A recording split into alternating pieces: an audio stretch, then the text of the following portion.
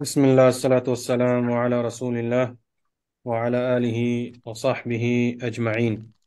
By the grace and mercy of Allah, we will be starting our third class on the course Nawaqid al-Islam, the book by Sheikh Muhammad bin Abdul Wahhab and the explanation of Sheikh Haytham Sarhan. As it's the usual for our classes, we'll start the class by questioning what we have taught in the last few weeks. Whoever is ready, they can raise their hands up, or else I will start picking random brothers or sisters. Brothers can come on the mic, and sisters can type in the text messages. First question, Samir Sayyid, why are we studying Nawaqid? Shouldn't we study something like the good things about Islam rather than the things that take us out of Islam? Uh, Assalamu alaikum wa rahmatullahi wa barakatuh. Salaamullah wa barakatuh. We study these nullifiers, nawaqid, to protect ourselves first and foremost, uh, and then also others. Jazakallah khair. So we're studying this to protect ourselves from falling into these nawaqid and also to warn others so they don't come and fall into these nawaqid. Jazakallah khair. Uh, Bashir, what is a naqid? What do, Um, you mean and- naqid? do you mean the same, Yes, for sir. example? Uh, a naqid, uh, linguistically, I think is يعني something that it's like a nullifier. I believe it's something that will take you out of Islam. It's a nullifier, anything that takes you out of the fold of Islam, i.e., the person committing that no longer remains a Muslim. Jazakallah khair. Yeah. Next question, Fazal. Has anyone other than the author wrote about the Nawaqid? Uh, yes, it was uh, compiled in uh, from different shuyukh, but he was the first one who did it in a in a separate book. Jazakallah. Exactly. Many scholars have written in books of fiqh about Nawaqid, but the Shaykh Muhammad bin Abdul Wahhab was the first one to write a separate book on the subject. We then mentioned and spoke about the first Naqid, which was shirk. And we said shirk are two types. Who can give me the types of shirk? Abu Huraira, what are the types of shirk? Assalamu alaikum. There's a shirk uh, kabir, uh, like a shirk al-asghar and shirk, shirk al-akbar. We have shirk al-akbar, the major shirk, and we have minor shirk. Yes. Adil Khalid, what is the difference between Akbar and Asghar? What is the difference between Shirk Akbar and Shirk Asghar? Barakallah feek. Um, shirk, as, shirk al-asghar um, does not take you out of the fold of Islam, while shirk al-akbar takes you out of the fold of Islam. Jazakallah. Excellent. Uh, Abu Ibrahim, one more difference between Shirk Akbar and Shirk Asghar. Assalamu alaikum wa rahmatullah. Assalamu alaikum um, Shirk, Shirk Akbar, it invalidates all your good deeds. So if, you, if a person was to commit it, all their good deeds are null and void. And the Asghar, it um, doesn't invalid invalidate all the deeds. It just invalidates the act, the special act that the person is doing. The minor. Excellent. So Shirk Akbar, whoever performs it, all of his actions are gone. Whereas Shirk Asghar, that action that Shirk Asghar was performed in, that action is null and void. What is Shirk Akbar? How do you know if a sin is Akbar or Asghar? Abdul Hakim, how do we know? Sorry, Yusuf. Yusuf was there. Yusuf, how do we know if the Shirk is Akbar or Asghar? Yusuf? Okay, Abdul Hakim, how do we know? Assalamu alaikum wa barakatuh. Can you hear me all right, uh? Yes, I can hear you, Abdul Hakim. Uh, we know the difference between Shirk al Akbar and Shirk al Asghar in the Quran. If Allah subhanahu wa ta'ala mentioned um, a Shirk or Kufr with Alif and Lam, we know that it is uh, major, major Shirk. And uh, Yes, if it's void of Allah using Alif and Lam, then we know that it's talking about Shirk al Asghar. shukran. Jazakallah khair, Abdul Hakim. Excellent. If an alif and lam, al comes, then it's akbar. Without that, it's asghar. Also, another difference, a major, a big difference, most of the time you hear that, if the action or the person doing the action is cursed, la'an, for example, Allah says, la'natullah, Allah has sent la'na, or removed him from his mercy, or compared him to animals, then that sin is a major sin. And then we said the types of al-muharramat. Types of al-muharramat. Uh, Zahid, what are the four types of the muharramat? Zahid, the four types of muharramat. Assalamu alaikum. Salam. I don't know. I, I did I did not attend the class. Okay, no problem. Anyone else? Uh, Adiba, Salim, if you can write the four types of al muharramat. And then we also mentioned bint Naim. Muharramat is the sins. We said there are four types of sins or four types of prohibitions. I'll explain that. So that was first was we said shirkul akbar, jazakallah khair, farhana, shirk akbar, shirk asghar, and then we said major sins and minor sins. Any sister, if you can type the types of adhabh li sacrifice for other than Allah. What are the type of sacrifice for other than Allah? Sisters, not brothers. The types of sacrifice for other than Allah. This is open for all sisters. Haram, permissible, and permissible. Legislated, forbidden, permissible. Jazakallah khair. So there are three types that the Sheikh mentioned. We said one that is for Allah subhanahu wa ta'ala, and secondly, for other than Allah subhanahu wa ta'ala, and thirdly, that which is permissible. But which one is the one that Sheikh was referring as shirk? One of them was shirk. Which one is shirk and prohibited? Which type of dhabh we are referring to that takes you out of the fold of Islam? Sisters, sacrificing for other than Allah out of love and veneration for those people. Jazakallah khair nida, for example, sacrificing for the magicians, i.e., the magicians ask you to sacrifice, but they ask you to sacrifice for the jinn. That was aqsam or dhabh. And then we said naqid al-thani, the second invalidator, was anyone that puts intermediaries between himself and Allah subhanahu wa ta'ala and he relies upon them and asks them for shafa'ah. And we studied the types of shafa'ah. Continuing on from the second naqid, the Shaykh first says, is it permissible for someone to say to someone else, make dua for me? You see a lot of people asking others to make dua for them. Is this allowed or not? If this request has humility, i.e., you belittle yourself in front of that individual and you ask them to make dua, then this becomes shirk asghar. You see, some people go grab the hands and legs of the Pir Sahib and belittle and put the head down and ask Sheikh Sahib, Pir Sahib, make dua. This form is shirk asghar. But if generally you're asking a righteous individual to make dua for you, then that is no problem. But always the best thing is, always the best is for you to make dua yourself. Because no one is going to make dua for you the way you are going to make dua for yourself. So the best is to make dua.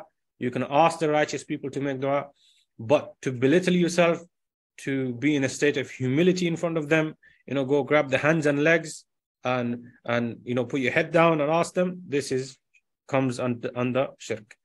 And then the Shaykh uses another word, وَيَتَوَكَّلُ عَلَيْهِمْ i.e. whoever trusts or has tawakkul on these intermediaries other than Allah, kafar, says has done kufr. Now what is tawakkul? And how tawakkul be shirk? Firstly, what does tawakkul mean? توكل means هو صدق الاعتماد على الله مع الثقة به والأخذ بالأسباب. Three conditions, three things have to be in tawakkul. Firstly, you rely upon Allah, reliance upon Allah, number one. مع الثقة به and that you trust that Allah can give or deliver what you ask. So number one again, that relying upon Allah, tawakkul is relying upon Allah. Secondly, that you have full belief that Allah is able to give you what you ask. Thirdly, Third thing is that you take the appropriate means. That you take the appropriate means. If any of these is missing from tawakkul, your tawakkul is naqis. Some people say, I rely upon Allah subhanahu wa ta'ala, and he doesn't do anything. He's sitting home, he's saying, rizq comes from Allah. Yes, rizq comes from Allah, but you need to go out and you need to work for that rizq. So, tawakkul has to have these three conditions. If your tawakkul doesn't have these three, your tawakkul is naqis, is not full. But what are the types of tawakkul? The tawakkul that the Shaykh Muhammad bin Abdul Wahhab here is referring to, that is shirk akbar. If you do it for other than Allah, is shirk akbar. If you believe the one you're relying upon has the ability in of uh, and in uh, and, and of themselves to bring harm or bring benefit, that's kufr. Some people believe in the saints, in the awliya, that they can directly harm you. If they don't want you to go Jannah, you will not go Jannah. That people actually believe that. That sort of tawakkul is shirk akbar mukhrujun al millah. That takes you out of the fold of Islam. That's number one. That's the one the Shaykh is referring to. The second type is shirk, just like the one I've mentioned earlier on, it goes to a pious person, righteous person, or the of whoever, and in state of humility, in state of iftiqar, belittles himself in front of him to ask him to bring good or harm. He doesn't believe that this person directly has can bring harm, i.e., he doesn't control everything, but he gives him a status above the status he deserves. Then this is shirk asghar, i.e., belittling yourself in front of others and you're relying upon them fully. This is shirk asghar. And then we have tawakkul that is jaiz, i.e., I rely upon you to get something done for me. I rely upon you to do a task, to go outside, do some shopping for me, or anything else. But my actual belief, I know that Allah is the doer and you are the means. The correct tawakkul is that you know Allah is the one that has control over everything, but Allah has set means for me to achieve that thing. That is jaiz, that is permissible. So again, tawakkul has to have three conditions. That you rely upon Allah subhanahu wa ta'ala, and that you trust Allah is capable of delivering what you ask. And thirdly, you take the correct means. Next is the third invalidator. Sheikh mentions, من لم يكفر المشركين أو شك في كفرهم أو صحح مذهبهم كفر Whoever does not declare the kufr, disbelief of the pagans, or has doubts about the kufr, disbelief, or considers their madhab, way of life, religion as correct or valid, such a one has fallen into disbelief by consensus.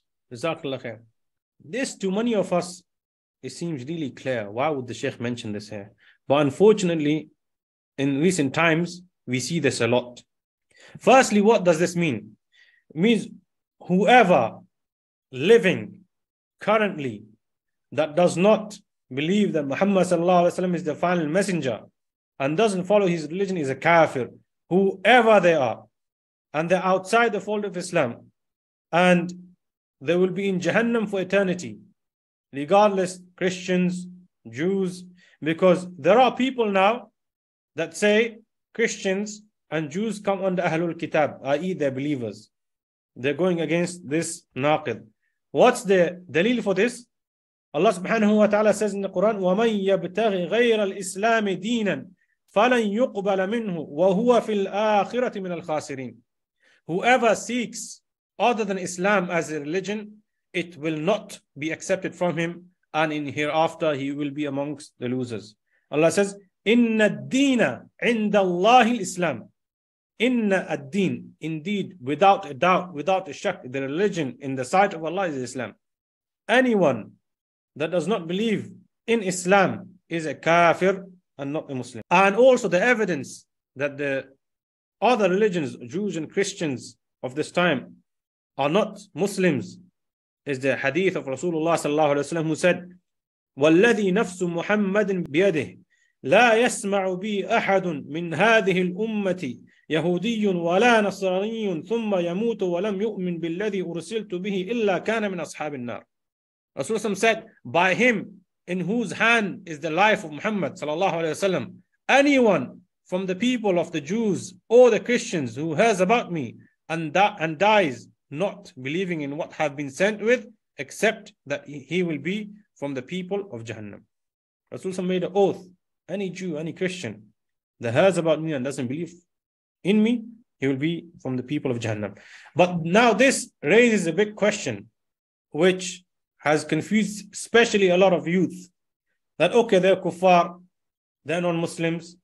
How do we deal with them? In dealing with kuffar, Muslims are categorized into three. In dealing with kuffar, Muslims generally fall in one of these three categories. We say two extremists and one on the correct and middle path. Two groups are extremists and one on the middle path. We have a group of Muslims that join the kuffar in their special gatherings, in, the, in their religious gatherings, in the Eids of kuffar, and they mix fully with the kuffar. Christmas, no problem, he's joining. Diwali, Indian, he, no problem, he's joining. Halloween, he's there. Any act or any Eid of kuffar, he's there with them. The religious ritual rites, he's there with them. This person is an extremist. And then, opposite of that, we have Muslims who say these people are kuffar, therefore we should not be loyal to them. Any contracts we made with them are void. We can betray them, we can steal from them, and we can harm them. There are some Muslims who believe this, unfortunately, and they follow that. And this is again a group of extremists. These people are extremists. And the way of Ahlul Sunnah wal Jama'ah and the correct way is that we do not participate in their religious gatherings. We do not participate in their Eid, ayat. We do not participate with them. We differentiate between our deen and their religion. But at the same time, if we have a contract between us and them, we honor that contract. We do not transgress against their rights. We do not believe that their wealth and, and, and their money is halal, you can just go and take it like this. And we treat them with nice manners. And we call them to Tawheed.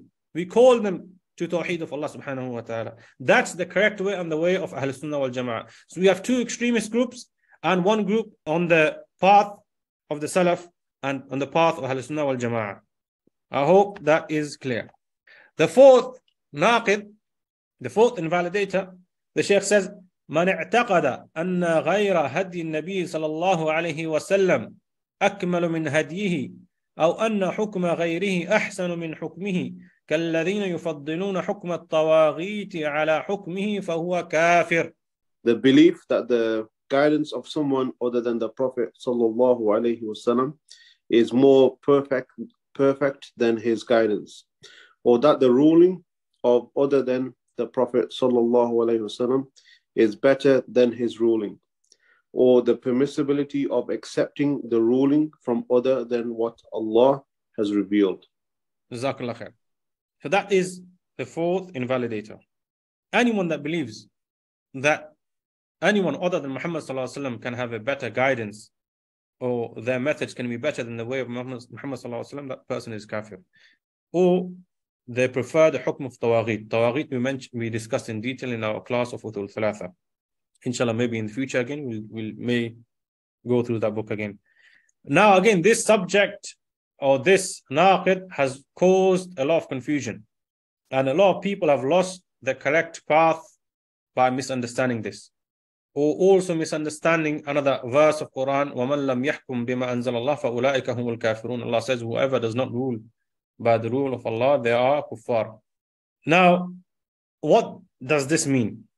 If anyone believes that the laws of Islam are not good, or if he believes that the current laws we have are better than the laws of Islam, or if he says that you you heard that a lot of time that Islamic rulings are for all all times, they're not suitable, applicable now, then this person has left the fold of Islam this person has left the fold of Islam.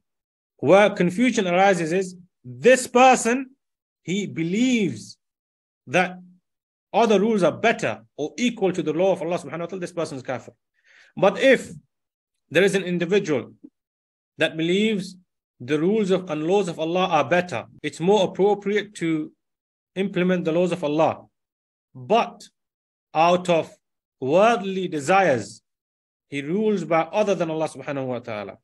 Worldly desires, i.e., to gain wealth, or to gain a position in the parliament, anything, then this person does not become a kafir.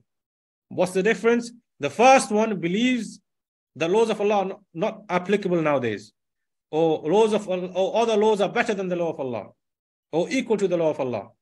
His belief is the thing that makes him a kafir.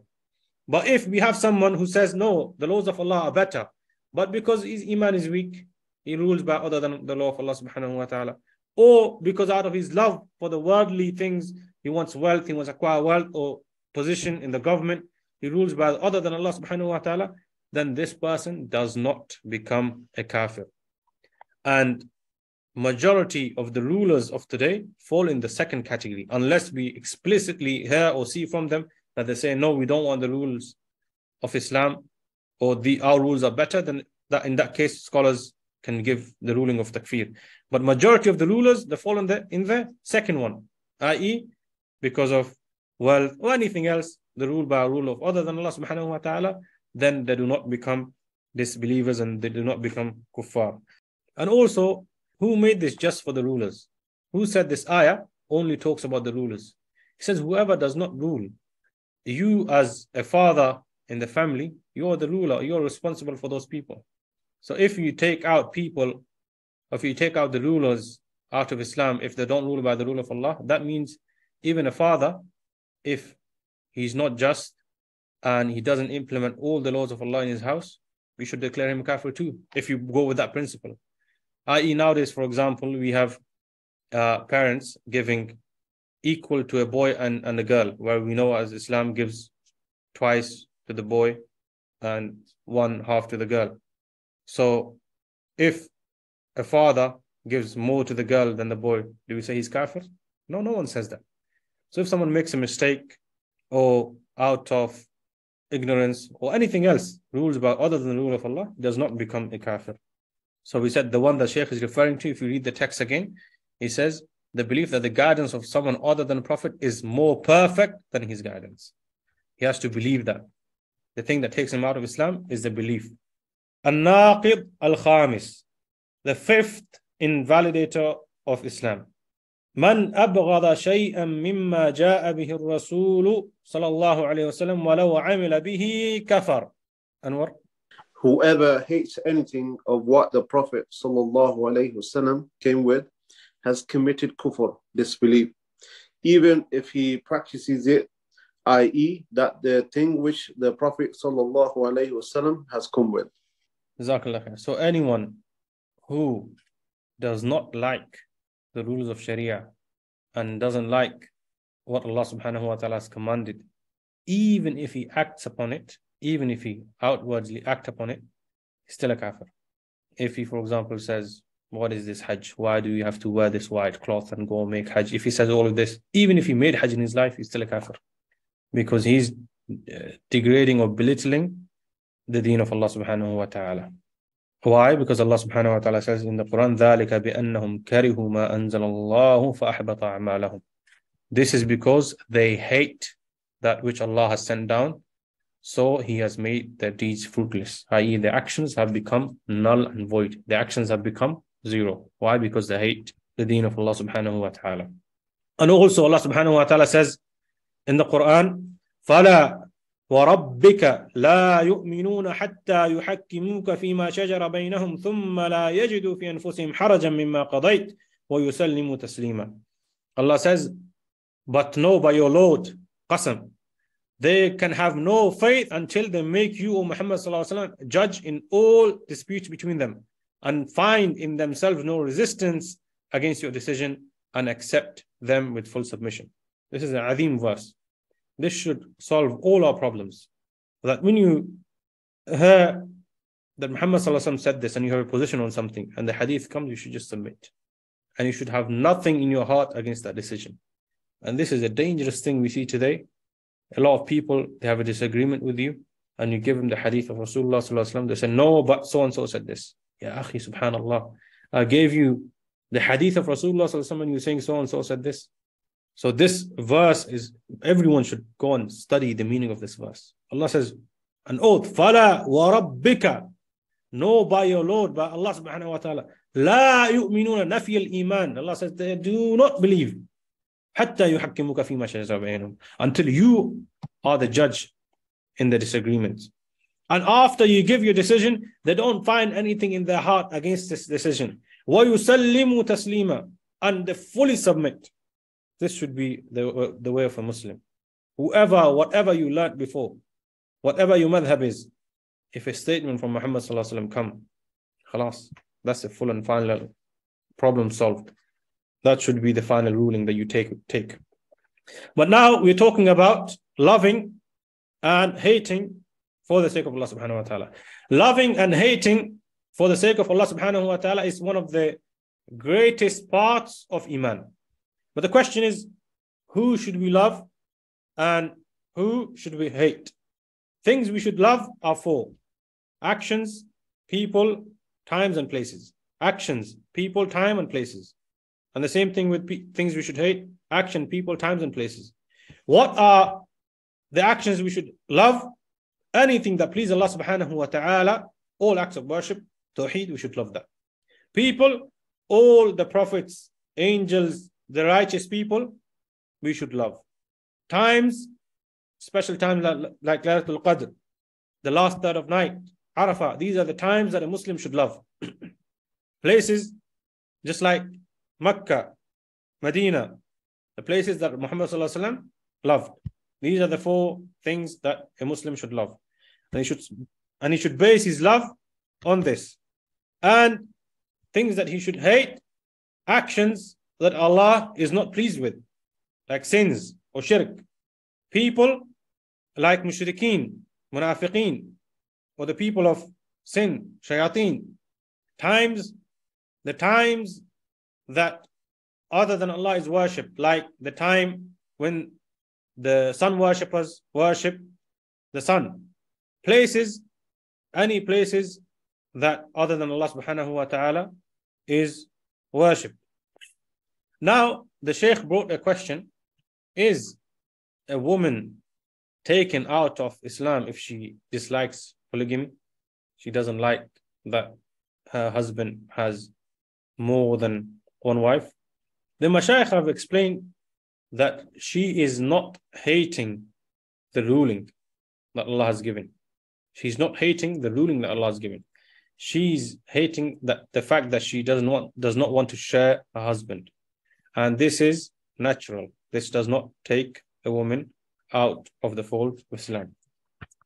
The last naqid that we'll study today ناقد السادس the sixth invalidator and this is a really important one من استهزأ بشيء من دين الرسول أو, أو, أو ثواب الله أو عقابه كفر والدليل قوله تعالى قل أب الله وآياته ورسوله كنتم تستهزئون Brother Anwar.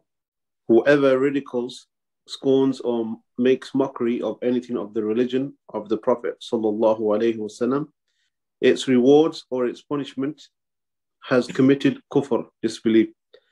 Allah, the Most High, says, Say, was it Allah and His ayat, proof, signs, and revelations, and His Messenger, sallallahu alayhi wasallam, that you were mocking? Make no excuse, you have disbelieved after you had you had believed. Allah al-Musta'an, this is something that unfortunately really common among Muslims. That they mock the sha'air of Islam, the symbols of Islam at times. They mock a hadith or verses, sometimes even not even realizing that this is kufr. It takes you outside the fold of Islam. This verse, Allah says, قل أبي الله وآياته ورسوله كنتم تستهزئون قد ك... لا تعتذروا قد كفرتم بعد إيمانكم Do not make any excuses. You have disbelieved after your iman. This is a story of some people when they were returning from a battle. They mentioned that the companions of Muhammad sallallahu they they are lazy, they are fat and chubby, and they can't fight. So another Sahabi heard these people talking like this about the companions and he said, I'm going to tell Rasulullah and he came and informed Rasulullah and these people who were mocking the Sahaba like this, they rushed behind and they came to tell Muhammad we were just laughing and joking, having a laugh. Before they could say anything, Rasulullah said, قُلْ أَبِاللَّهِ وَآيَاتِهِ كُنْتُمْ تَسْتَهْزِئُونَ You are mocking about Allah and His Messenger. لا تعتذروا. Do not give any excuse. قَدْ كَفَرْتُمْ You have disbelieved after you were believers. So, istihza, mockery, mocking the deen, mocking the symbols of Islam, mocking a hadith, mocking verses of Quran, mocking the laws of Allah subhanahu wa ta'ala is kufr. And the person or the person that curses Islam, that is kufr, is kufr akbar. He's outside the fold of Islam. And that if he does not does not repent in lifetime, he will abide in Jahannam forever. And Allah's refuge is sought. And as for the person that is sitting in those gatherings where Islam is being mocked or being cursed, then it's wajib, wajib, must upon him to refute that. A yunkir, you refute that and you tell them no in that gathering.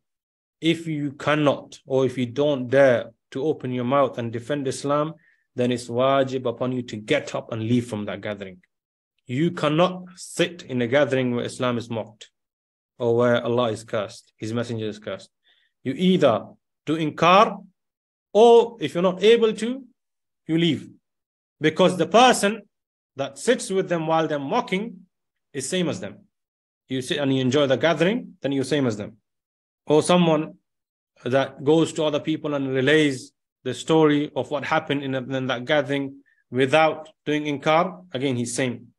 The dalil is the statement of Allah subhanahu wa ta'ala in the Quran, وَقَدْ نَزَّلَ عَلَيْكُمْ فِي الْكِتَابِ أَنْ إِذَا سَمِعْتُمْ آيَاتِ اللَّهِ يُكْفَرُ بِهَا وَيُسْتَهْزَأُ بِهَا فلا تقعدوا معهم حتى يخوضوا في حديث غيره إنكم إذا مثلهم Allah subhanahu wa ta'ala says and it has already been revealed to you in the book this Quran that when you hear the verses of Allah being denied and mocked at then do not sit with them until they engage in a talk other than that. But if you stayed with them certainly in that case you would be like them. Now if someone that has mocked or cursed Allah subhanahu wa ta'ala, is his tawbah accepted? He said, yes, he's accepted if he praises Allah subhanahu wa ta'ala firstly and frees himself from what he has said. And that you can see the effects of tawbah, i.e., he remorses what he said. That is for cursing Allah subhanahu wa ta'ala. Barakallahu feekum. We'll stop here. We've studied six until six nawaqid. Inshallah, we'll try to finish the class in the next dars بإذن الله تعالى. أقول قولي هذا Innahu rahim. Uh, next class probably will be our last class inshallah. Assalamu alaikum wa rahmatullahi wa barakatuh.